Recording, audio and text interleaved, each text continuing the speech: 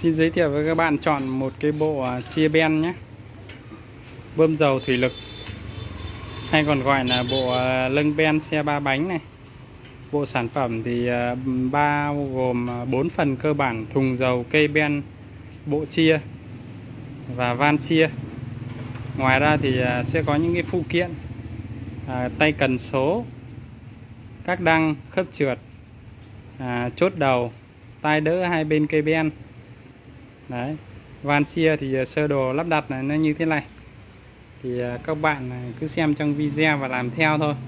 À, đối với những cái phần à, à, lông đen dầu thì à, có đi kèm ở đây để ở trong này.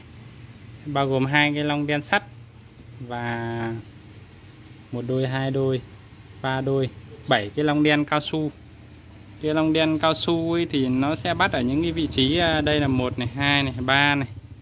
Đấy. Bốn này. Năm này. Sáu này. Bảy. Đấy, bảy cái lông đen cao su.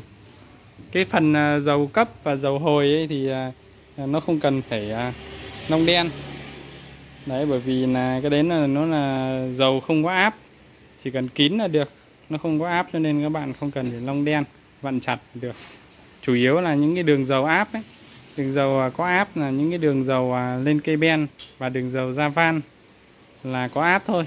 Còn những cái đường dầu từ van về à, thùng hoặc là đường dầu cấp từ thùng ra bơm thì là nó là dầu không áp cho nên là các bạn cứ kín là được, không cần phải lông đen.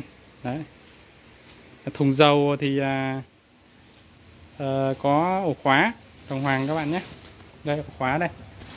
Thùng này thì có thể chứa được khoảng à, 8 đến 10 lít. Cái này mình chưa đong mình ướm vậy thôi. Nó tương đương với này à, khoảng nó khoảng khoảng bằng đấy. Thì rất là thoải mái để cho các bạn làm à, một cây ben hoặc hai cây ben. À, đều chứa đủ các bạn nhé. Đây, thùng dầu lớn. Đây là à, bộ này là bộ đời mới. Đấy. thì chọn bộ nó như vậy cách đấu như vậy. Phụ kiện và cũng như thế luôn. À, cảm ơn các bạn đã theo dõi video. Mọi chi tiết thắc mắc à, xin liên hệ hai số điện thoại ở dưới. Cảm ơn các bạn đã xem video của mình.